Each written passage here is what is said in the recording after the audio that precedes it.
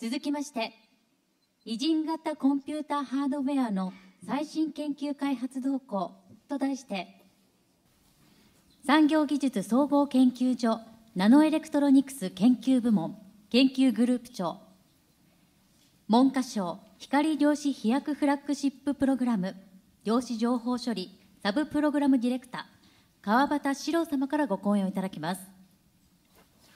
ご紹介ありがとうございます。あの皆様こんにちは。三層研の川端と申します。えっとここからちょっと話題を変えましてちょっとハードウェアのお話を皆様にさせていただきたいと思います。特にですね今この瞬間なんですがこの量子アニーリングあるいはイジングマシンのハードウェアの開発が激しく世界中で展開しております。ある種ハードウェアの戦国時代に入った状況でございます。そそこでまず私の方から今この瞬間この世界的にどのような状況になっているのか皆様に紹介したいと思います。でまずイジングマシンイジングコンピューターなんですけどもこれまでいろいろお話がありましたが組み合わせ最適化問題を解くことに特化したコンピューターです。でこのコンピューターなんですが大きく2種類ハードウェアにあの分類することができます。一つは古典力学あるいはその量子性をわずああ何らかの形で使った、まあ、反古典的な方式。あともう一つがあの量子方式です。でこちらに関しましてはこの非常にですね日本の企業が非常にですねあの活発に研究開発を進めております。で一方量子方式これはもうあの皆様ご存知のように DL システムがパイオニアとしてあの世界で初めて超電導を使った量子アニーリングマシンを開発いたしました。で DA 部が開発して以降ですね Google であるとかあと我々産総研あるいはここに書いたような多くの企業大学で世界中で研究開発が進められております。でまずこのこちらの古典あるいは反古典方式の状況をあの見てまいります。こちら表にしたものです。今この表を見ても一目瞭然なんですがこちらの方式に関しましては日本がもう圧倒的にあの世界をリードしている状況になっております。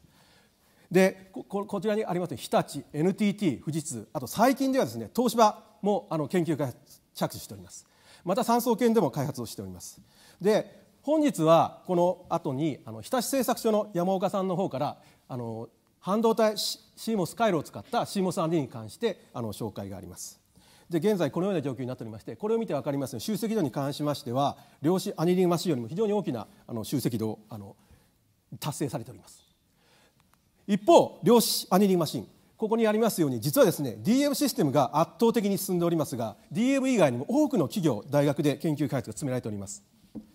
で例えば Google あるいはアメリカですと MIT あとノースロップグラマンなどで研究開発が進められております。基本的にはここに書いた量子アニマシンは超電導を使ったものがほとんどであります。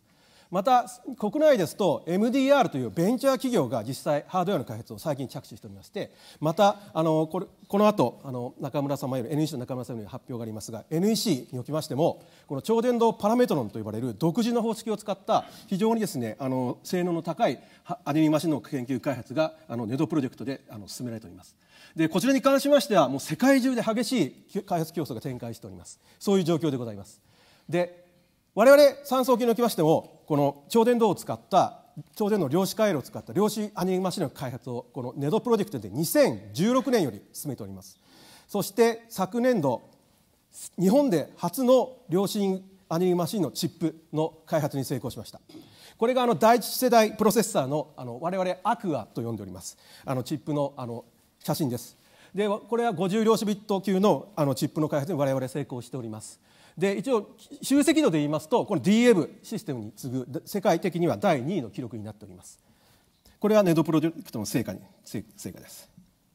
で今後のこのハードウェア開発の展開なんですけどももちろん集積度を上げるっていうのは非常に重要です。特にですね古典あるいは反古典方式っていうのは非常に集積度を上げるのが非常に容易です。そういう意味で大規模化今後どんどん進んでいくと思います。あとですねキーとなるのは多分小型化あるいは低消費電力化です。特に小型化することによってあのエッジ端末にこのアニリングチップがあの搭載される可能性が出てくると。で一方量子方式っていうのはあの古典方式にあるいは反古典方式に比べるとなかなか集積度を上げるというのは大変です。でそういう意味で何を目指すかというとまずそれであっても頑張って大規模化していこうというのがまず一つの方向。あとあの西村先生もあの説明でもあったんですけども古典とうまくハイブリッドしてあの適材適所で使うというのも非常に有力な方法です。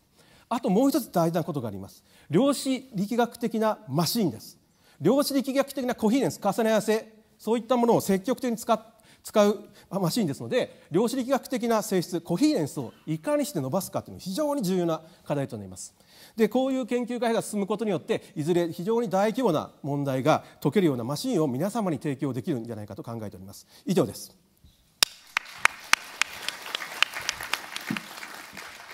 川端様どうもありがとうございました。